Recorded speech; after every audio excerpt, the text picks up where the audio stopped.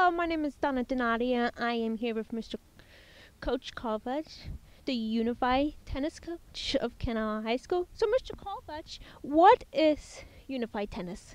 Hi, it's a pleasure to be here, Dona. Unified Tennis is the Special Olympics of Maryland version of tennis.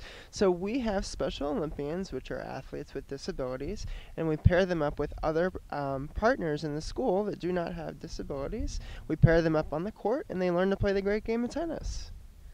What do you do as a coach? As the coach of the team, I'm in charge of making sure the roster is full, so having enough athletes, which are Special Olympians, and enough partners, which partner with the Special Olympians, and organizing all of the home and away matches and running practice three times a week. What other teams do you play against with? Well, so far, Dona, we've played against Queen Anne's, we've played against North Caroline and Easton, and on Monday, the 23rd, we have our big district match, so we'll be playing against teams from all over the Eastern Shore. When do you guys have matches?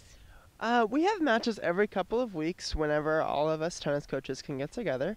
We had a match yesterday against Easton and Queen Anne's at Easton. And of course, we have our big district match in Easton Monday, the 23rd. How often do you guys practice tennis? Well, Dona, we practice every Monday, Wednesday, and Friday from 2.30 until 4 o'clock. What are your results of your team this year? We've had mixed results. Um, it's been a rebuilding year, but I can assure you that everyone has had a ton of fun this year. What is your favorite part of being a coach? My favorite part of being a coach is getting to see players grow up on the courts, get some exercise, and have tons of fun. And of course, Dona, I would be remiss if I didn't say that you were my favorite player.